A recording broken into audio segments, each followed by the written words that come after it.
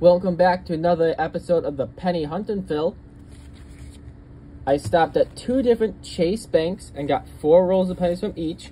I'm going to be opening these four first, and these were the same bank that I got a wheat penny from the teens for the Bank Battle Series. And then these are from a different Chase bank.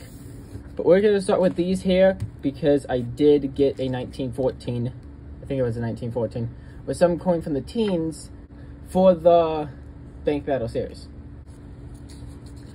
I already checked the enders. There's nothing special here.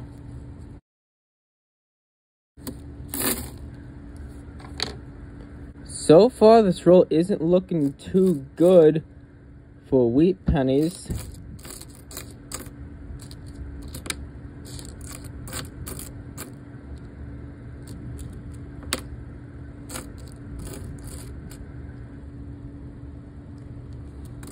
I don't see any, but I'll go through these a little bit closer now.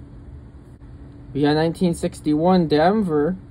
I've been buying so many rolls of wheat pennies and hunting through those that I forgot what it's like to go through a normal roll. We got 1969 Philadelphia. Two coins from the 60s so far. Alright, I'm just going to open all four of them now, and then I'll hunt for varieties and errors after I get all four open.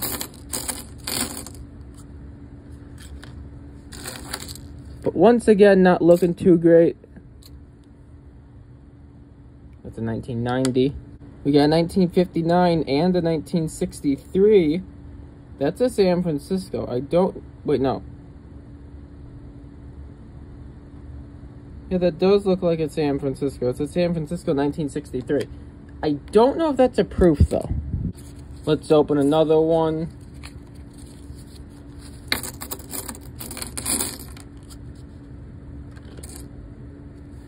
I'm hoping to get at least one wheat penny from this bank. We have one more roll to open after this one. We got 1966 Philadelphia. We got 1964 Denver. I don't know if this was a collector because I did find the 1959 and I think a lot of collectors do take the 59s out. We got 1969 Denver, better condition. We got 1969 Denver Last roll to open from this bank, but we do have another bank to open. We got four rolls of pennies from two banks. Please have a wheat penny.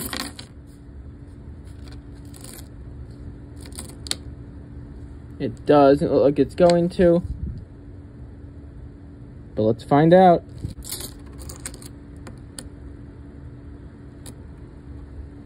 We got a dime in this roll. A 1970, but it's still a dime in a penny roll. We did get another 1959. This one's a Denver. We got 1963, Denver. We got 1963, Philadelphia. Let's go through these last couple here. 1998, 2021, 2013, 1994, and 2017. Now, I need to go through all these pennies to see if there's any errors or varieties. Alright, time to open the rolls from the other Chase Bank. I did find one 2009 as I finished the hunt.